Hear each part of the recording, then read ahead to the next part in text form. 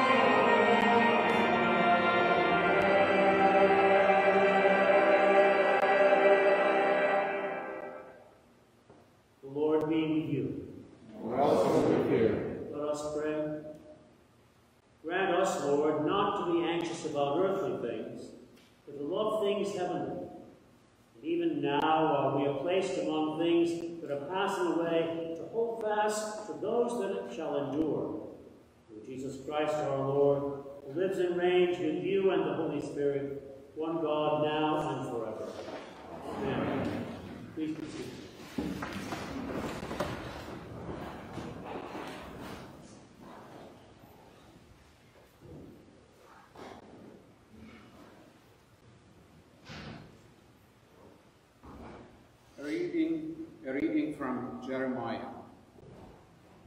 It was the Lord who made it known to me, and I knew that you showed me their evil deeds. For I was like a gentle lamb led to the slaughter, and I did not know it was against me that they devised schemes, saying, Let us destroy the tree with its fruits. Let us cut him off from the land of living, so that his name will no longer be remembered. But you, Lord of the hosts, who judge righteously, who try the heart and the mind, let me see your retribution upon them. For to you I have committed my cause. The word of the Lord. Thanks be to God.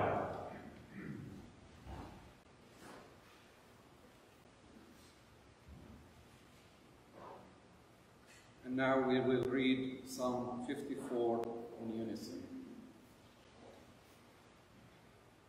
Save me, O God, by your name. Hear my prayer, God. For the arrogant have risen up against me. Those who have no regard for God, behold, God is my helper. It is the Lord who sustains my life. Render evil to those who spy on me. In your faithfulness destroy it. I will offer you freely of sacrifice.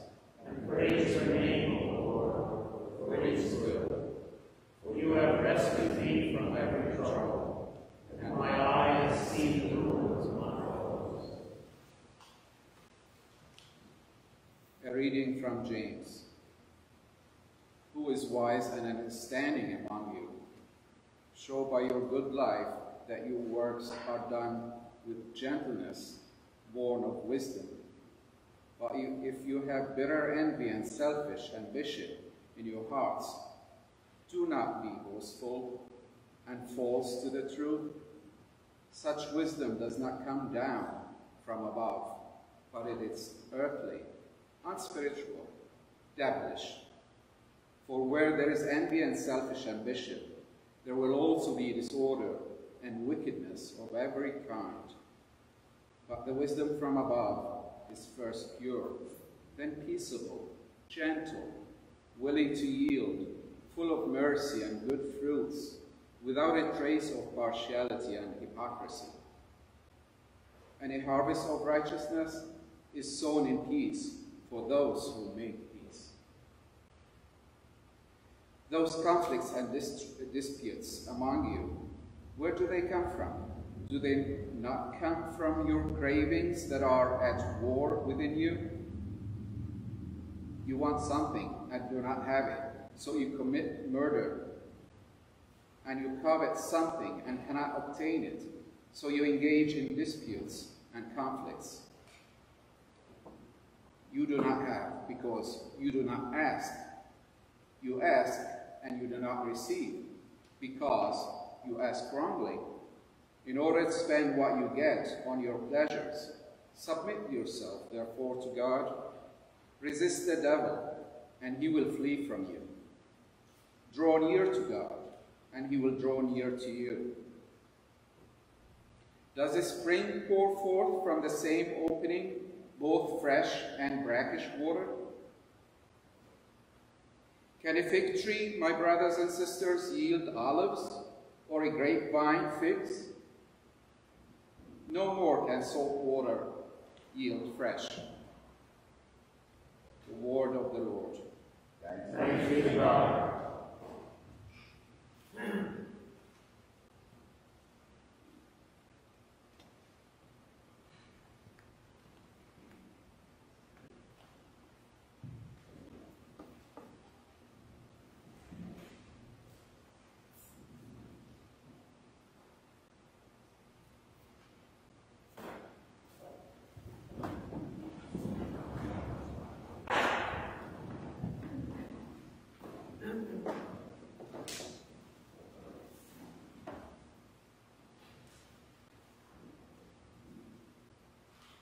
Holy Gospel of our Lord and Savior Jesus Christ, according to Mark. Glory to you, Lord Christ. Jesus and his disciples passed through Galilee. He did not want anyone to know it, for he was teaching his disciples, saying to them, The Son of Man is to be betrayed into human hands, and they will kill him. And three days after being killed, he will rise again. They did not understand what he was saying and were afraid to ask him. Then they came to Capernaum, and when he was in the house, he asked them, What were you arguing about on the way? But they were silent. For on the way they had argued with one another who was the greatest. He sat down and called the twelve and said to them, Whoever wants to be first must be last of all and servant of all. Then he took a little child and put it among them. And taking it in his arms, he said to them, Whoever welcomes one such child in my name welcomes me. And whoever welcomes me welcomes not me, but the one who sent me. The Gospel of the Lord. Praise, Praise to you, Lord Christ.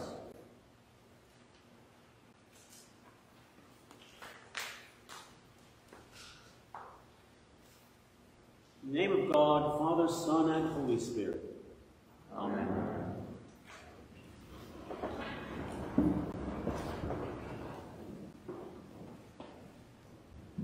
When Mark was compiling his gospel, some 40 years or so after the death and resurrection of Jesus, those who heard and read his story seem to have had a lot of trouble grasping the truth of a Messiah whose leadership was seen in suffering, serving, sacrifice. Both Mark and even Jesus in his time had to fight against the false idea that greatness was seen only in military power or material success. Oddly enough, something we still have to deal with in our own day. For our society still suffers from this addiction to greatness when it comes to understanding leadership. Families, schools, sports often hand on this attitude, usually unconsciously, but the message is clear. You must be the grace, the best, the greatest, on top, sometimes even at the expense of others. Today we see that even Jesus' disciples were not immune to this addiction. In this little story, three distinct things stand out. First, on the way to Capernaum, after the transfiguration on the holy mountain, Jesus reminds them of what lies ahead. Betrayal, death, resurrection. They don't understand, and they're certainly not going to ask any questions. The scene then jumps to them bickering among themselves about power and positions of control in the coming kingdom. They must have been embarrassed when Jesus questioned them, although clearly he knew. Finally, he makes one more attempt to help them understand that whoever wants to be first must be last of all and servant of all. Still, they are silent, no doubt ashamed of themselves. They'd heard these opposites before to save life, lose life, to be great, be a servant. Jesus is always talking like this. This time he does something remarkably different. He takes a child from the crowd puts the child in the center, and picks the child up and simply says, Whoever welcomes one such child in my name welcomes me. Whoever welcomes me welcomes not me, but the one who sent me. Here they have been thinking about place and prestige in the kingdom. And Jesus is talking about a child holding a child. He wants us to see that child also, not because the child is cute or cuddly or innocent, perfect or curious. Jesus points to the child because the child was at the bottom of the social heap. Already this summer in Mark's Gospel, we have met several children Jairus' daughter, point of death. The Syrophoenician woman's little girl who was possessed by an unclean spirit. A young boy who has convulsions, disciples weren't able to heal. For Mark, it is very clear that children are not symbols of holiness or innocence or cuteness but they are a sign of things gone wrong. They are the other.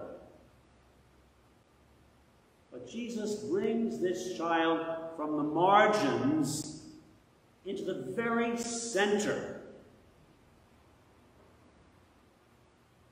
It's a downright touching moment, depicted by numerous artists down through the centuries no doubt the disciples' hearts must have melted as well. But by the next chapter, they've forgotten all about it, And when others bring children to Jesus for a blessing, the disciples scold them and send them away. Was Jesus a hopeless romantic when he set a little child in the midst of the disciples? Perhaps. But instead of a hopeless romantic, let us call him a hopeful fanatic.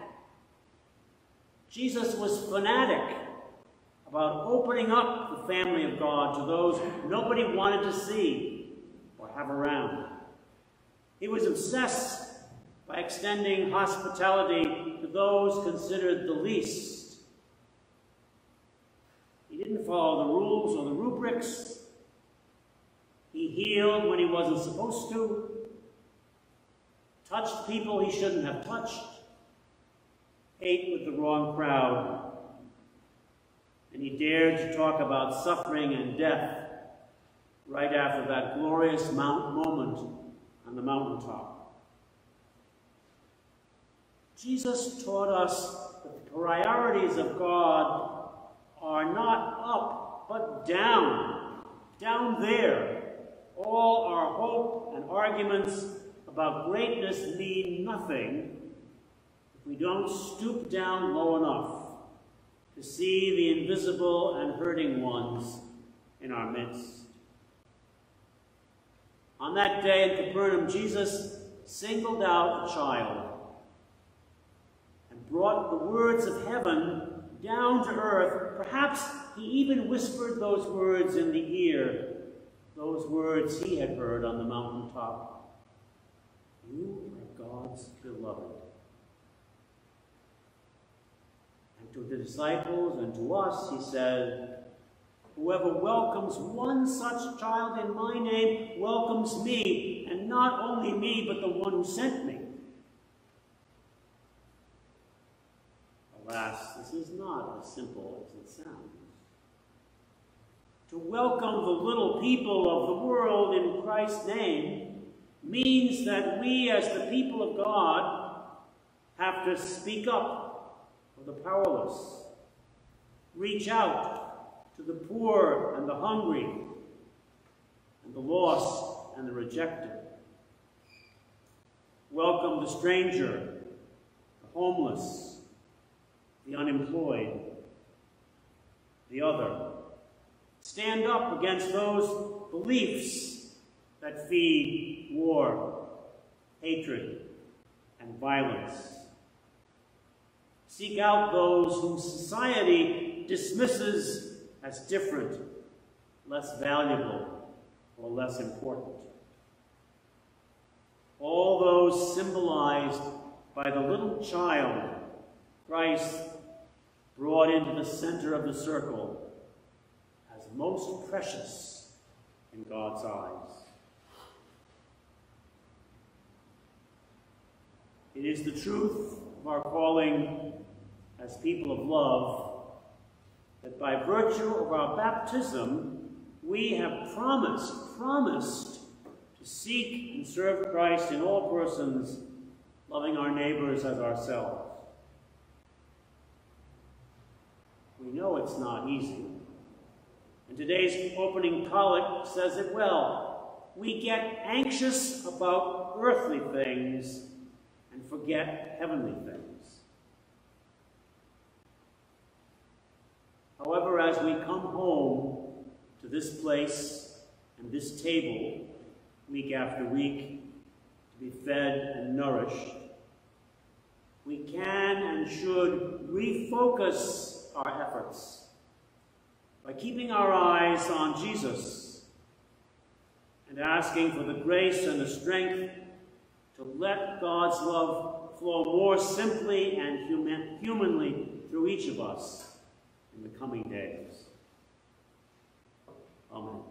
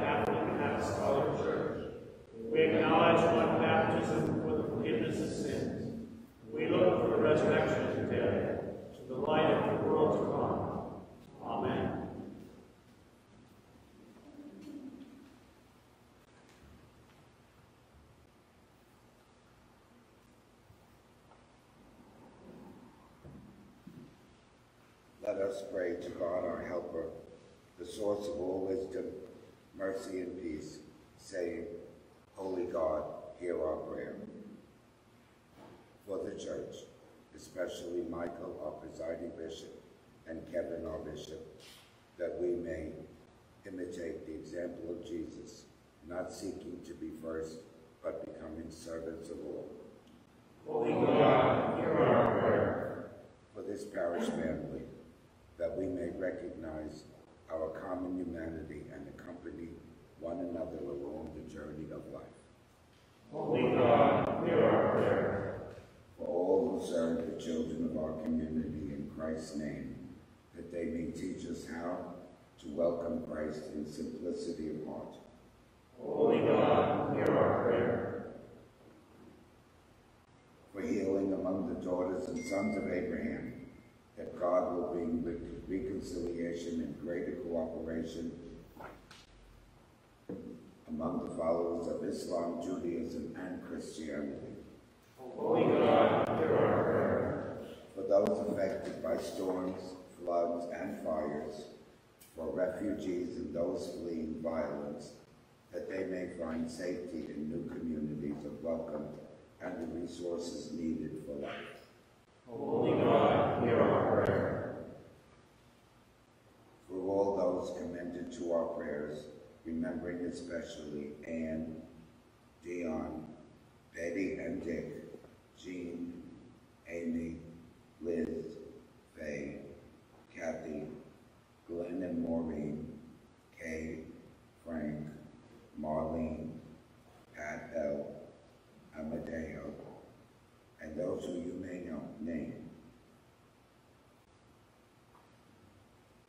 that they may find healing and strength in the good news of the dying and rising of Jesus Christ. Holy God, hear our prayer.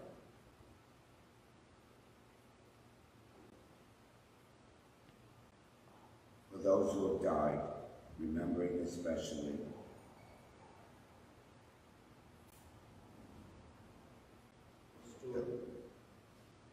that they may be welcomed to share in the joy of God's presence forever. Holy God, hear our prayer. lifting our voices with all creation, with Mary the God-bearer, Matthew the, apostle and evangelist, and all the saints. Let us offer ourselves and one another to the living God through Christ. To you, O Lord our God. God of mercy, hear the prayers we offer this day. Strengthen us with your wisdom from above, and bring forth in our lives a harvest of humility and peace. Through Jesus Christ our Lord. Let us confess our sins against God and our neighbor.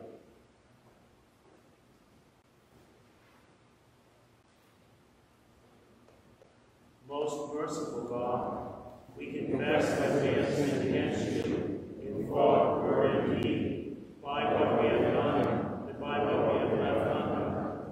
We have not loved you from our whole heart. We have not loved our neighbors as ourselves. We are truly sorry and we humbly repent. For the sake of your Son, Jesus Christ, have mercy on us and forgive us. That we may heartily do your will and walk in your ways to the glory of your name. Amen. Almighty God, have mercy on you, forgive you all your sins through our Lord Jesus Christ, strengthen you in all goodness, and by the power of the Holy Spirit, keep you in eternal life. Amen. May the peace of the Lord be always with you. and also with you.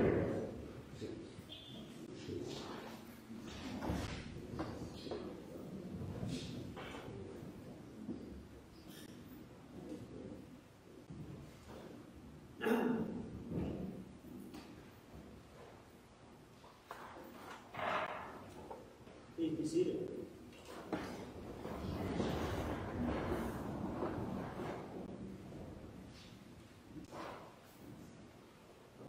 Given us a glorious last Sunday of summer. Today, as we celebrate what we're calling homecoming, if nothing else, to welcome the homecoming of our beloved sister Patty and her daughter Rochelle. So please do join us in 09 Hall for a chance to greet Sister Patty and to have some wonderful refreshments and fellowship. Walk in love as Christ loved us and gave himself for us, an offering and a sacrifice to God.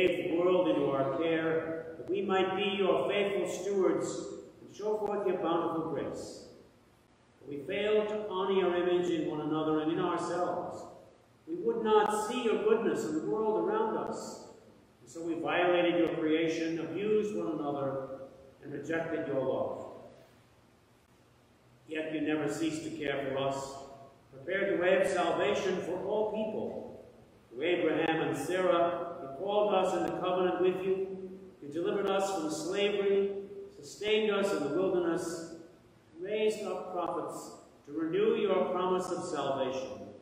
Then, in the fullness of time, you sent your eternal word, who made mortal flesh in Jesus, born into the human family, and dwelling among us, he revealed your glory, giving himself freely to death on the cross. He triumphed over evil, opening the way of freedom and life.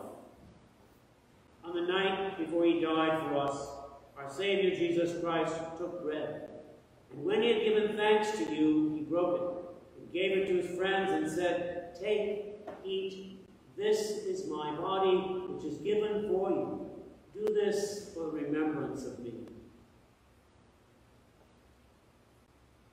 As supper was ending, Jesus took the cup of wine, and when he had given thanks, he gave it to them and said, Drink this, all of you. This is my blood of the new covenant, poured out for you and for all for the forgiveness of sins.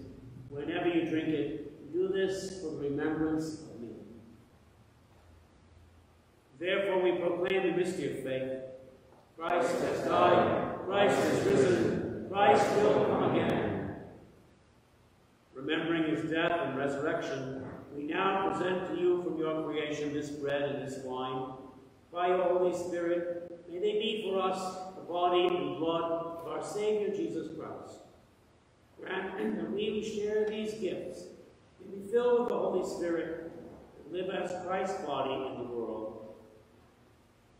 Bring us the everlasting heritage of your daughters and sons, that with Mary the God-bearer, Matthew, and all your saints, past, present, and yet to come, we may praise your name forever. Through Christ, and with Christ, and in Christ, in the unity of the Holy Spirit, to you be honor and glory, now and forever. Amen.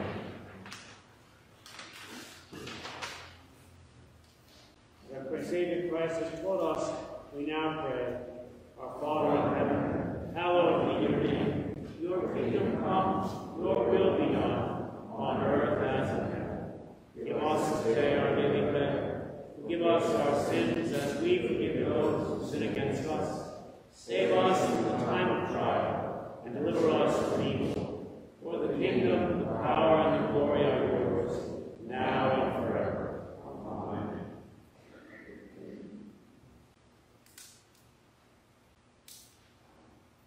Alleluia. Christ our Passover is sacrificed for us. Therefore let us keep the feast. Alleluia. The gifts of God for the people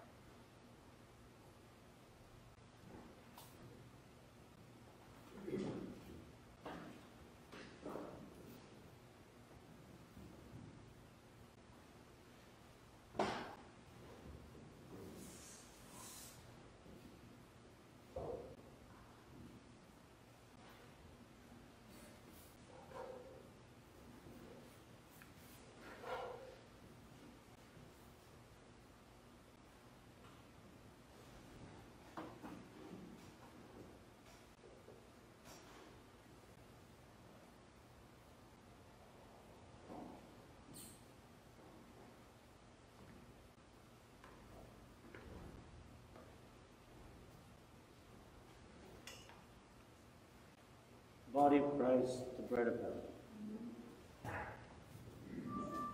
Body of Christ, the bread of heaven.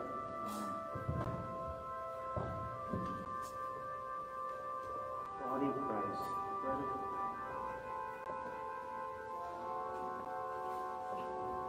Body of Christ, the bread of heaven.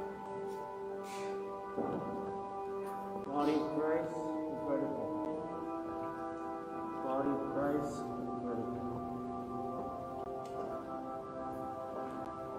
body of Christ, welcome. Body of Christ, welcome. Body of Christ, welcome. Body of Christ, welcome. Body of Christ, welcome. Body of Christ, welcome.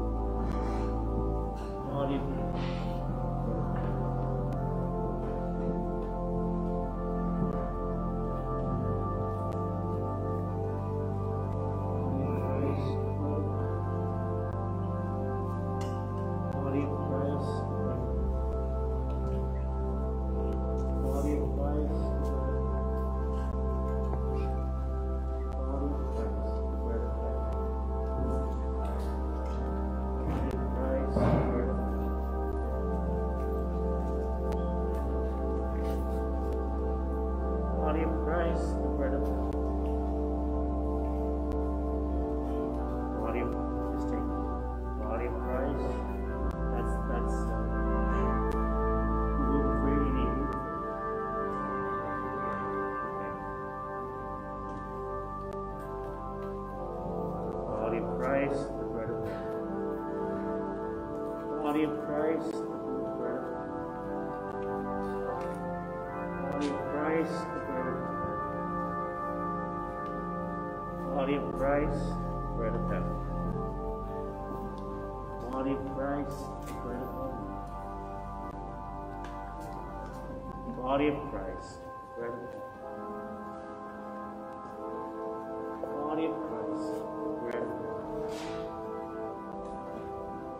body of Christ, Lord.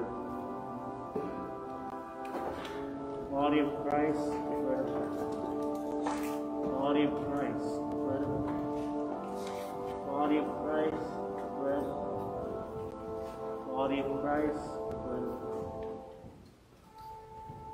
Body of Christ, Lord.